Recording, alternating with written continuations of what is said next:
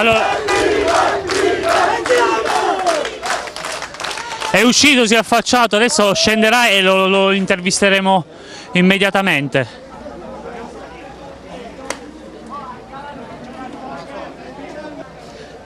aspettato, ecco Paolo Gatti che è uscito proprio adesso, da, però è scappato dalla, casa, dalla casa da dove si trova in questo momento il, il nuovo sindaco di Giulianova.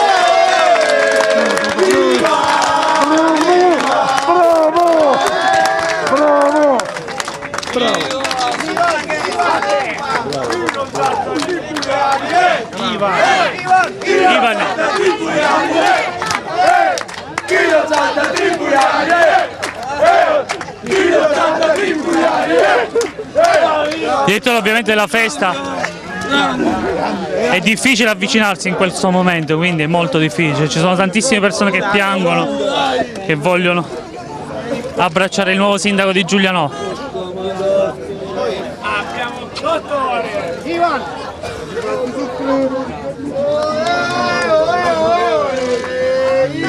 Alza le mani, alza le mani, alza le mani.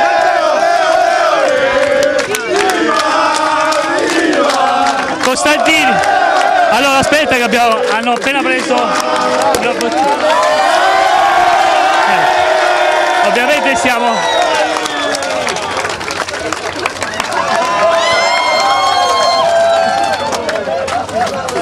Allora siamo Costantini. Grazie, grazie, sei forte. Costantino, un sogno che si avvera. Un attimo che... Siamo stati veramente sommersi dallo, dallo, spumante, dallo champagne. Costantini, lei è il nuovo sindaco di Giulianova, qual è sì, il primo è una, è una soddisfazione incredibile, è una responsabilità grandissima, è stata una durissima campagna elettorale, è stata una competizione elettorale voto a voto, le onori delle armi vanno al mio avversario che ho rispettato sin dal primo turno e continuerò a farlo anche in consiglio comunale. Io ringrazio tutti i cittadini di Giulianova, da domani mattina saremo al lavoro per regalargli una città diversa. Qual è la prima cosa che farà? La prima cosa che farò è ringraziare tutti i cittadini e andare a trovare tutte quelle associazioni che hanno bisogno di sentire un comune e un sindaco vicino perché da troppo tempo non hanno le istituzioni al fianco. Io voglio tornare alla piccola opera Caritas, all'Anfas, voglio tornare al dono di Maria, voglio tornare da loro. Si parte dai più deboli, lo abbiamo detto in campagna elettorale, lo faremo. La squadra?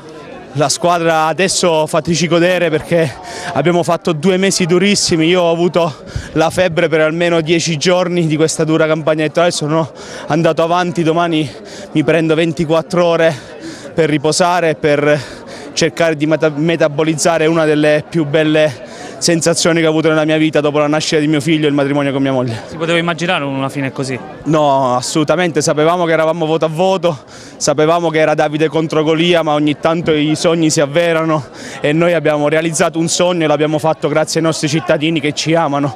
Noi amiamo questa città e quando ami qualcosa vai al di là di ogni simbolo di partito. L'unica dato negativo è il fatto dell'affluenza che comunque non è stata alta. Sapevamo, è andata così anche nel 2014, sapevamo che l'affluenza sarebbe calata in maniera terrificante e un po' ci preoccupava questo dato.